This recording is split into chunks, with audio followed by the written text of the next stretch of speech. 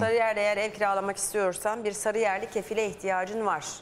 Sarıyer doğumlu mu olacak? Aynen. Kefili bulduk. Hayır evi buldun. de- ha. Kirada anlaştın. Ha, bütçeyi denk getirdin. Bir de diyor ki kefil getireceksin. Tamam kefil de getireyim. Hayır buralı olacak. Ha bunu. Ya bulduk da bir de kefil Sarıyerli Aynen. olacak onu arıyoruz. Kirada yeni bir dönem açan o şart ne efendim? İzliyoruz. Ev sahiplerinin talepleri.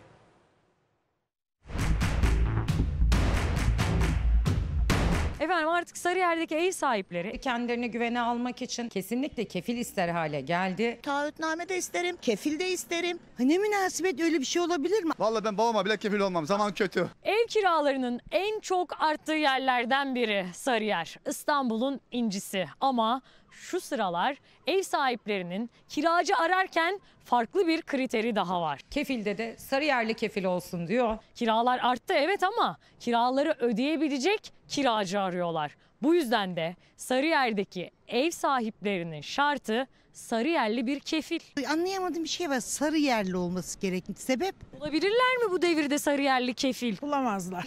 Yaş. Herkes bir kefil istiyor. Herkes bir çözüm istiyor. 67 yıllık Sarıyerliyim. Bu kadar yıllık Sarıyerlisiniz. Birine kolay kolay kefil olabilir misiniz? Nasıl olursun ki? Eskiden kefil bulunuyordu ama artık kefil yok. Bundan sonrası kefillerle mahkemelerde çözülecek gibi görünüyor. Sarıyer'deki binaların çoğu eski. Geçen yıl 3 bin liraya kiraya verilen evler aldı başını gitti. Bu yıl 7-8 bin liraya kiraya veriliyor. Allah bu ev sahibinin gözünü doyursun. Sütten ağzı yanan ev sahipleri yoğurdu üfleyerek yiyor. İlle de kefil diye tutturuyor. Çünkü adam ödeyemiyor. 3 ay ödüyor, 4 ay ödüyor, 5. ödeyemiyor. Bir ev sahibi olarak ben konuşmak istiyorum. Kefili olsaydı giderdim, kefilinden isterdim. Yani kefile bağlı. İyi niyetimizden kaybediyoruz. Hani hep diyorlar ya ev sahipleri kötü. Yok, değil işte. Bu gidişle kefil şartı sadece Sarıyer'le sınırlı kalmayacak gibi görünüyor. Çünkü İstanbul'un diğer ilçelerinde de durum hiç farklı değil. Kiracı geçim derdinde, ev sahibi de hep daha fazlasını istiyor. Ev sahipleri de biraz elini vicdanına koyacak. Allah kiralotuna yardım etsin yani.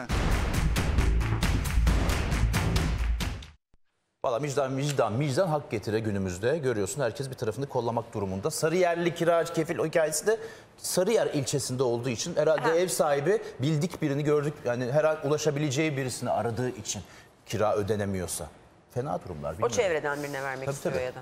Yani işin e, özün E, sözü bu. evi olan şu an şey Evet. değerli kıymetli altın madeni, pırlanta madeni sanki.